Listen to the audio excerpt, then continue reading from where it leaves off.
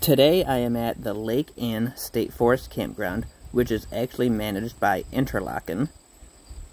As I pan across here, I wanted to point out this campground has a lot of poison ivy in it. Like everywhere I turned, there is poison ivy. So if you have an issue with poison ivy and you get it very easily, be cautious and aware of that.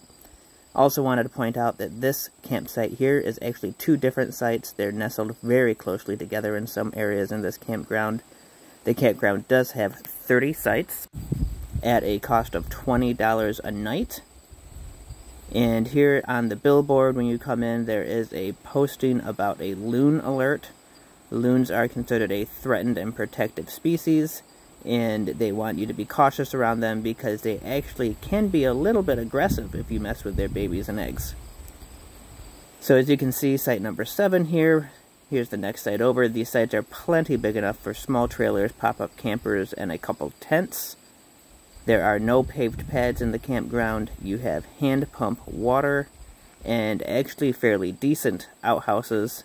Some of these campsites are really deep.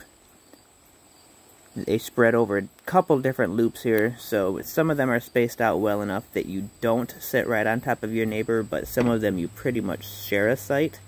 The sites are not reservable, so make sure you get here early if you want a site to yourself. There's another site that just sits on top of your neighbor.